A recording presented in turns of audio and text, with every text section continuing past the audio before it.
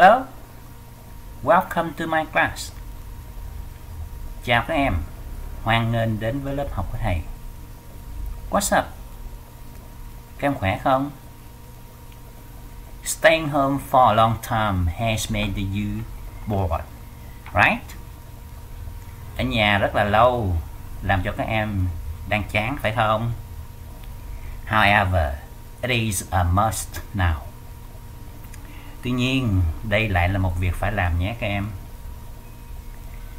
Now, I hope to make you feel okay by offering you a song by my voice. Listen please.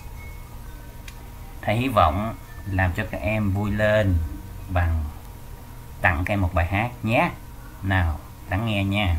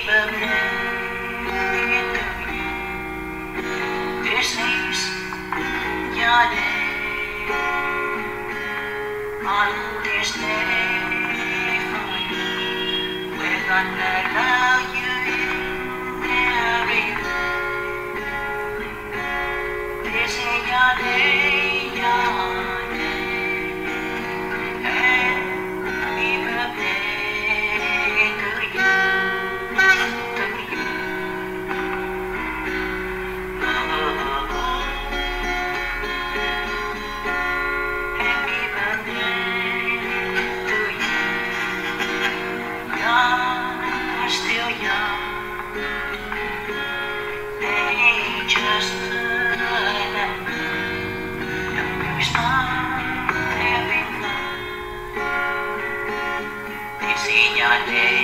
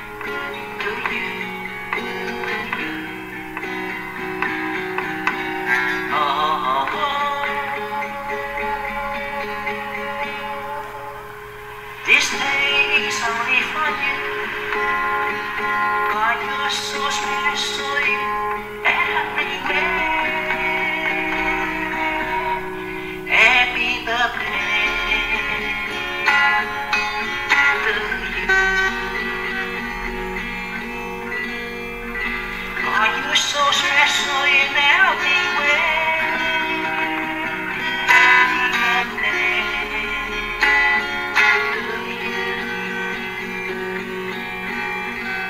Happy birthday.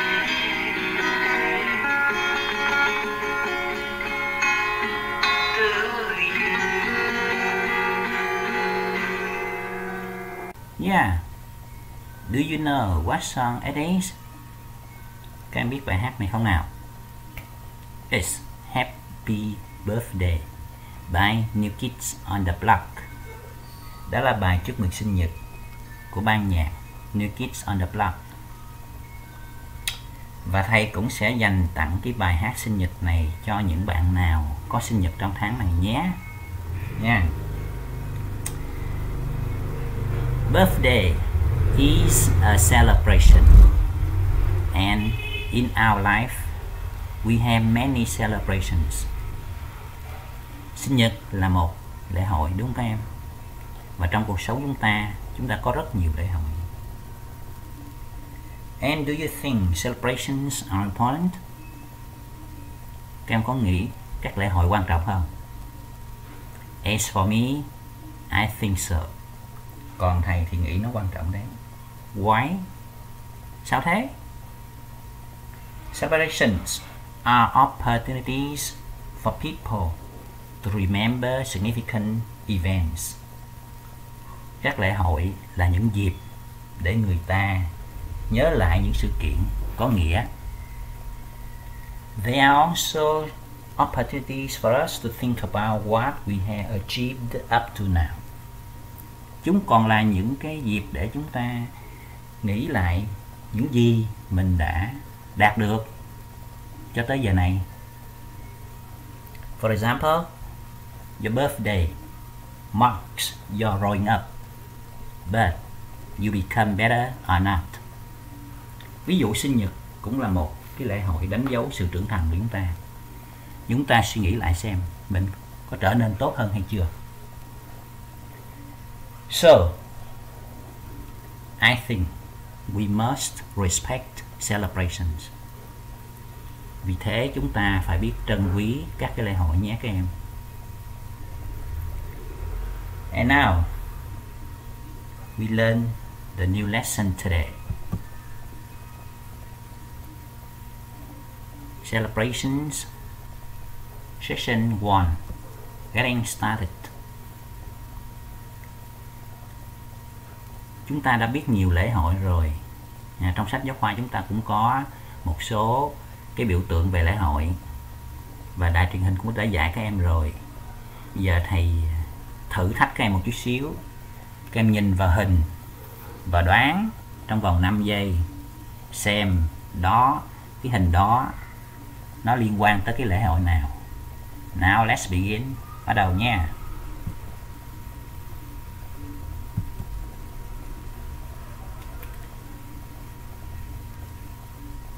Chúng ta thấy mai vàng, mâm cổ, báo hiệu đó là Tết. Alright. Lunar New Year. Nha. Continue. Tiếp tục nè.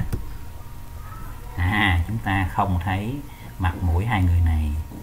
Nhưng mà chúng ta thấy ăn mặc rất là chỉnh chu và lịch sự đúng không hai bàn tay của hai người làm gì thế làm gì các nhận ra không họ lòng bàn tay vào nhau và tạo thành hình quả tim. Dễ dàng nhận ra rồi phải không? Đó là wedding. Đám cưới. Alright nha yeah, continue. À một chú thỏ. Xung quanh chú thỏ có gì? Những quả trứng. Những quả trứng màu sắc. À chúng ta liên tưởng tới đó là lễ hội phục sinh.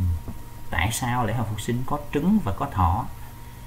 Thì à, ngày xưa người ta đã quan niệm vũ trụ bắt nguồn từ một quả trứng ha, cho nên là phục sinh là ý nghĩa phục sinh là sự sống lại thì có nghĩa là sự sống từ trong trứng ra.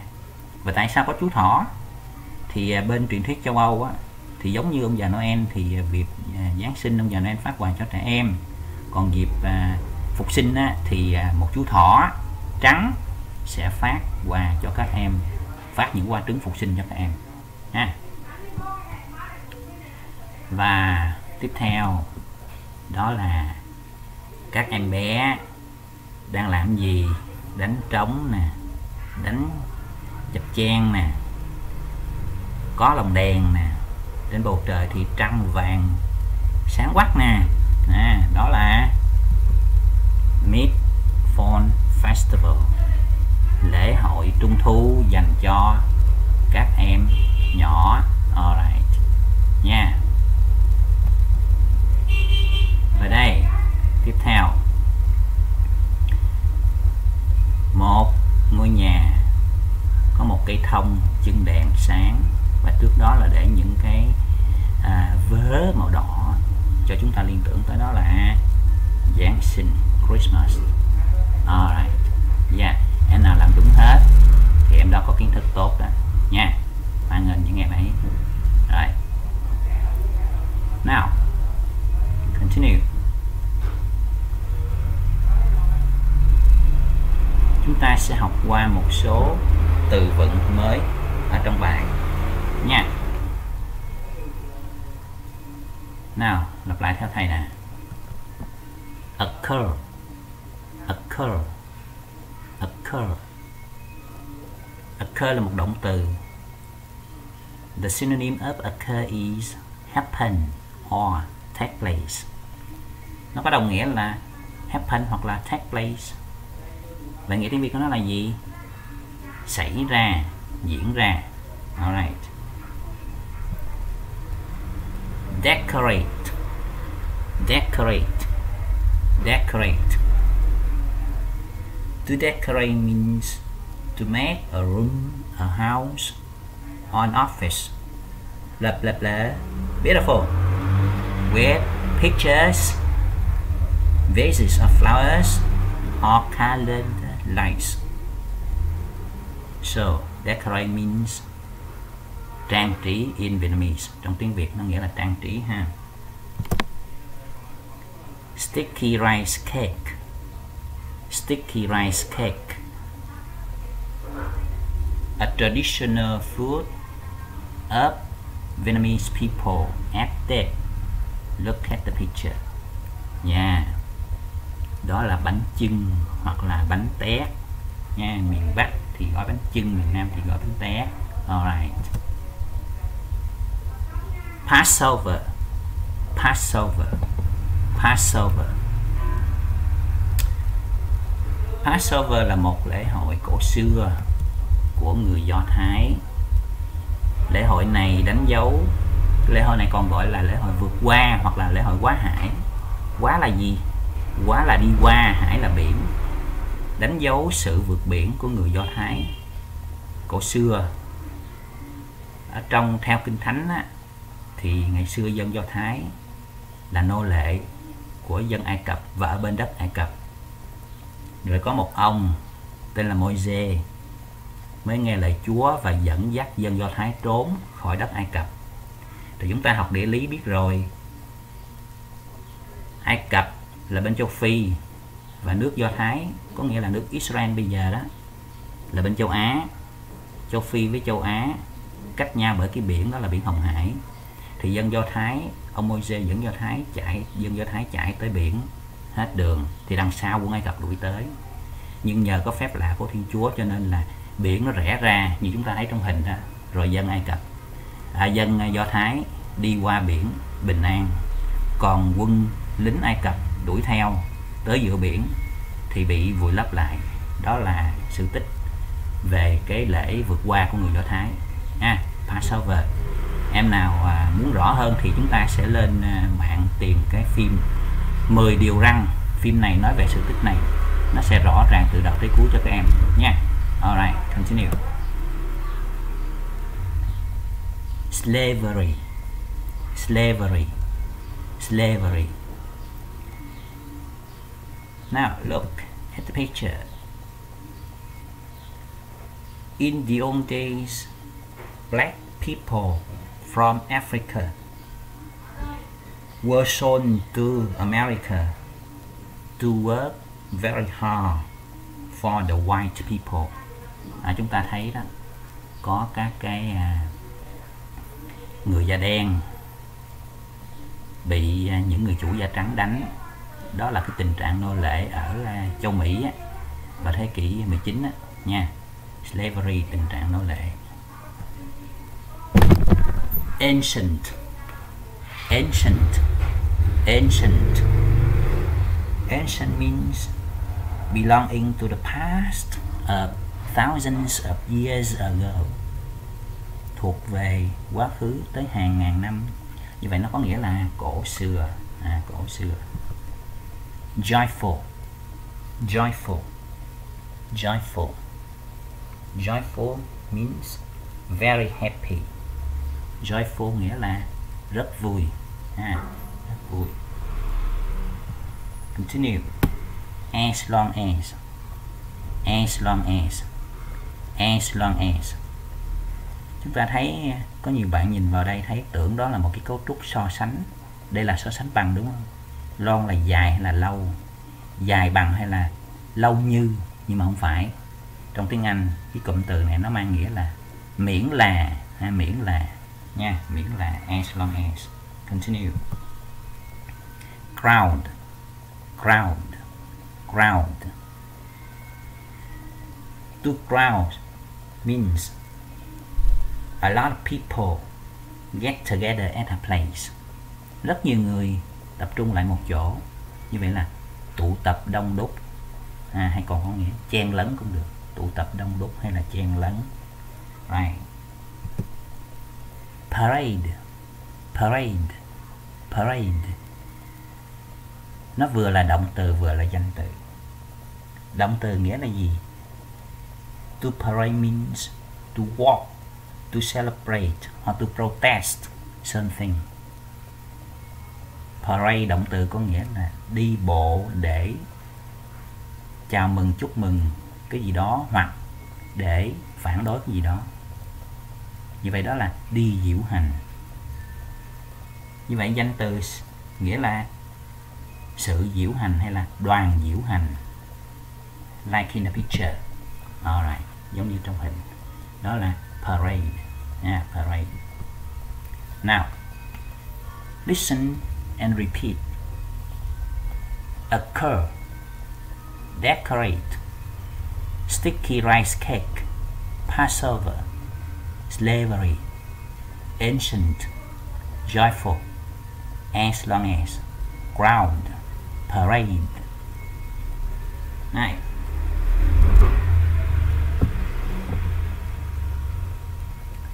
now you listen to the passage and look at the screen to read along the passage.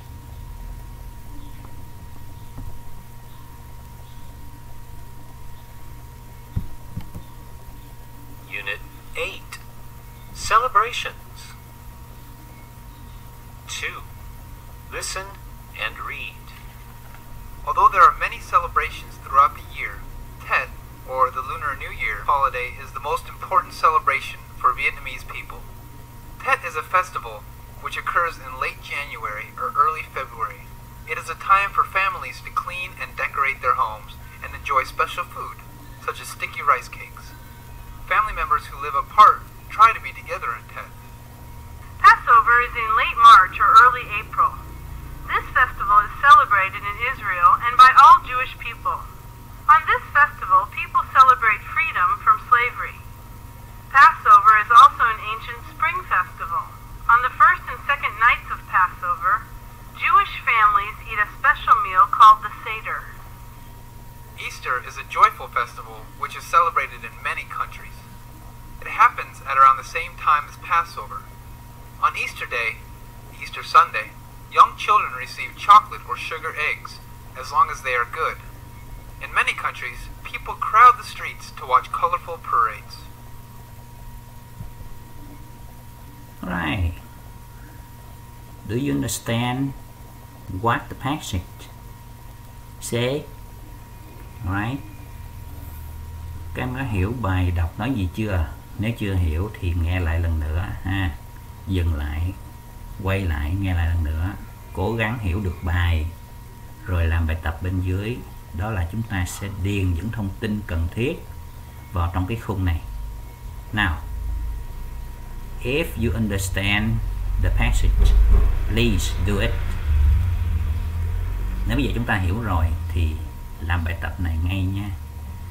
Chúng ta sẽ có ba cái lễ hội Tết, lễ vượt qua và lễ phục sinh.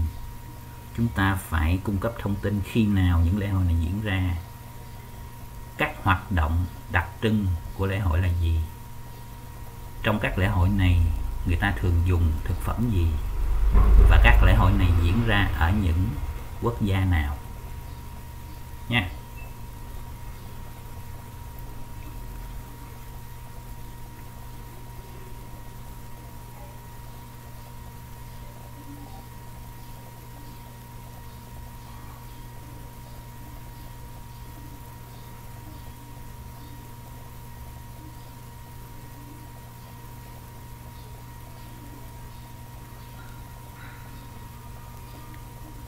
khi chúng ta xem video này, thì để mất thời giờ thì chúng ta, tới chỗ này chúng ta sẽ bấm pause, dừng lại chút để làm bài rồi mở tiếp nha.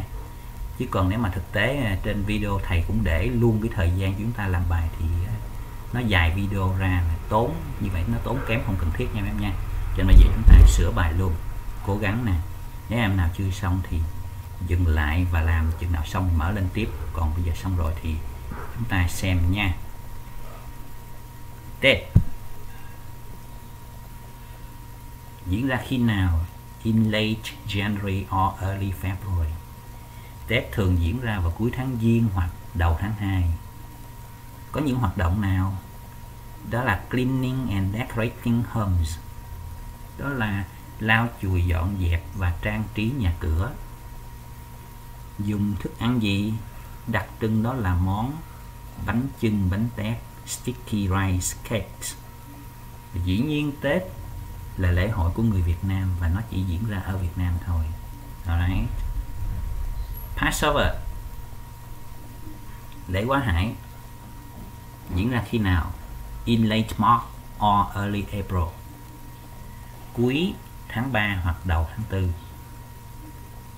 người ta không có kể đến những hoạt động, cho nên chúng ta ghi not given thức ăn đặc biệt. Và người Do Thái sẽ dùng một bữa ăn đặc biệt gọi là Seder a special meal called the Seder ở đâu? Ở Israel. Israel là ngày nay, ngày xưa đó là Do Thái. Now, Easter. Lễ phục sinh. Thời điểm, around the same time as Passover cùng thời điểm với lại lễ quá hải. Có nghĩa là cuối tháng 3 hoặc đầu tháng 4 các hoạt động đặc trưng. People crowd the streets to watch colorful parades. Người dân tập trung đông đúc ra ngoài đường để xem những cuộc diễu hành đầy màu sắc. Food.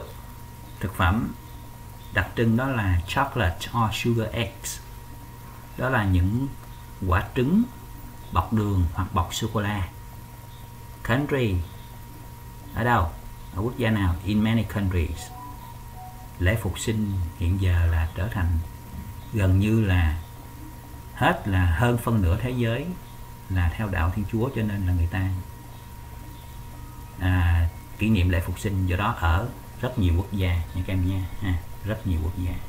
Alright rồi chúng ta đã hoàn thành xong những lễ hội thông tin của những lễ hội này.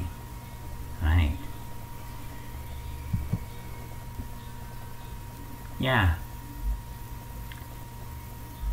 Chúng ta vừa mới tìm hiểu về các lễ hội Tết, lễ quá hải và lễ phục sinh. Chúng ta biết các lễ hội này. Và như thầy đã nói các lễ hội rất là quan trọng chúng ta phải trân quý nó. Nó đánh dấu những sự kiện quan trọng giúp cho người ta nhớ lại lịch sử và tôn trọng lịch sử và noi theo lịch sử, tiếp tục những cái truyền thống tốt đẹp lịch sử. Hai các em ha. Nào, homework. Chúng ta về nhà, cố gắng làm gì nào? Try to learn all the vocabulary that you do not know, so that you can understand the passage thoroughly. Chúng ta cố gắng khi mà đọc một đoạn văn nào đó, mình phải hiểu hết tường tận mới được, không hiểu sơ sơ được, nha cho nên là trong một đoạn văn có rất nhiều từ vựng. Chúng ta chỉ cần học từ vựng cho nó chắc vào, ha. Rồi sau đó mới học tới ngữ pháp. Chúng ta không có từ vựng mà giỏi ngữ pháp thì cũng như không thôi. Cho nên chúng ta nên học từ vựng nhiều. Cố gắng học hết từ vựng trong bài này. Bằng cách nào? Tra từ điển thôi, đúng không? Giờ thiếu gì cách để chúng ta học? Rồi, chúng ta sẽ học từ vựng và hiểu hết bài, nha. Và prepare for unit 8 section 3 speak chúng ta chuẩn bị phần số 3 speak của bài số 8 chúng ta luôn cố gắng như các em nha. À, các em thấy có con dê không? Nó muốn có được cái quả nó phải trèo lên cây đó. Rất là cố gắng đúng không? Chúng ta cũng phải cố gắng giống vậy nha. Alright and now it's time to say goodbye. But remember to do exercise every day to have a brilliant mind in a healthy body, so as to work hard and play well. Cố gắng nha các em nha. Trong thời điểm này chúng ta nên tập thể dục thể thao hàng ngày để có một cái trí óc minh mẫn trong một cái cơ thể khỏe mạnh để học hành, làm việc, chăm chỉ và chơi cũng tốt, cũng giỏi, cũng hết mình. Thank you. See you soon. Bye bye